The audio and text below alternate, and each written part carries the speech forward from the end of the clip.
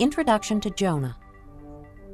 This book of Jonah, perhaps more than other Old Testament books, shows that God desired the salvation of all people, not just the Jewish people. But that's not how the prophet Jonah felt.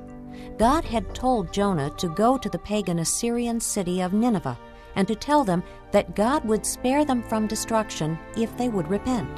But Jonah didn't want to go. He didn't want Nineveh to repent. In fact, he sailed in the opposite direction. That's when God used a great fish to deliver Jonah to Assyria, Israel's enemy. According to the details in the book of Jonah, this all occurred around 760 BC. Jonah did deliver God's message, and Nineveh turned to God. But Jonah sulked because they were not destroyed.